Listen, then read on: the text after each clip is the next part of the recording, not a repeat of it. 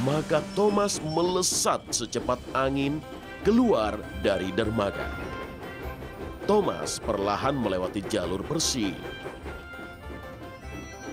Persi, Persi, kau di mana? Persi merasa sedih. Aku di sini, Thomas. Kau tidak mencariku.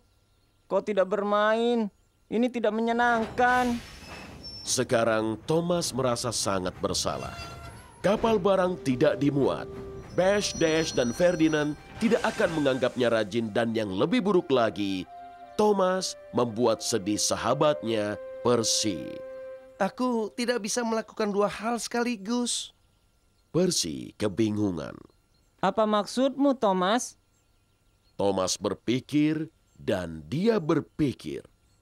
Lalu sebuah ide lebih bagus masuk ke dalam cerobongnya. Persi, kita berdua akan bermain sekaligus menjadi mesin yang rajin. Ikut aku.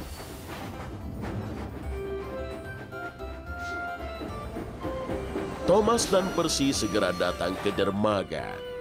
Bash, Dash, dan Ferdinand sudah menunggu. Kami bisa tunjukkan bahwa mesin yang rajin adalah mesin yang gembira.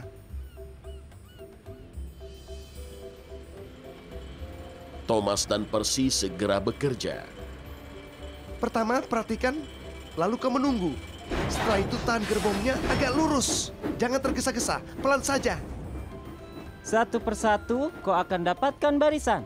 Maka kau tahu kau sudah bekerja dengan baik. Kau lulus tes mesin yang rajin. Kami berusaha sebaik mungkin.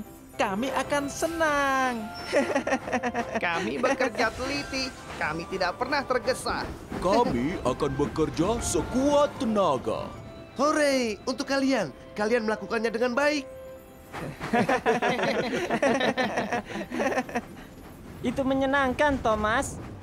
Benar. Thomas tersenyum lebar di bempernya. Menjadi mesin yang rajin adalah yang paling menyenangkan. Bahkan Cranky setuju dengan itu.